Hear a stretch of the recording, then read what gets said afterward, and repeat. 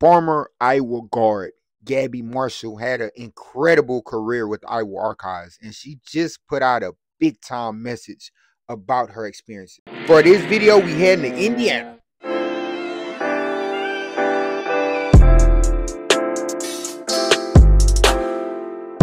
So it started off with as I am nearing my last month in Iowa City, ready to take on the next chapter of my life. And she went on to say a lot of more incredible things. Y'all check out the whole reading. And Caitlin Clark went on there and said, I love you forever and always, my girl for life. Just showing so much love to Gabbie Marshall.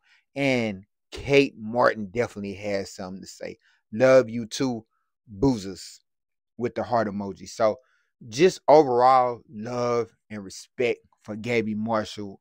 I'm pretty sure Coach Bluder is going to have something to say eventually about Gabbie Marshall putting out that message that, you know, five years, finally deciding to move away and be done with Iowa City and heading to the next chapter of what's going on in her life. So, man, just a, a special moment for her.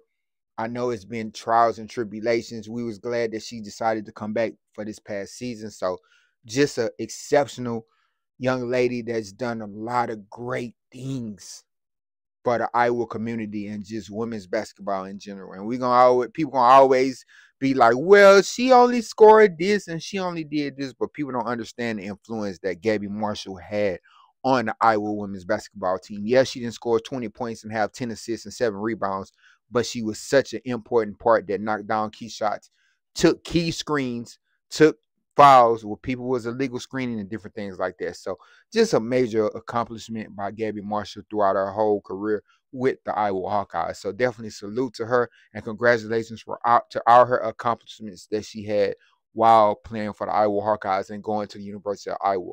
Good luck in your future, Gabbie Marshall, and we wish you the best. Y'all let me know what y'all think about this in the comment section. Make sure y'all like the video and subscribe to the channel. Out. I want to go 1 0 every single day. I want to have a great practice every single day.